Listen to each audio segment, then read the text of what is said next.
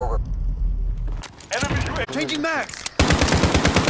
Reloading. Enemy cluster tracking. incoming. Enemy UAV overhead. Okay, got him. Oh, shit.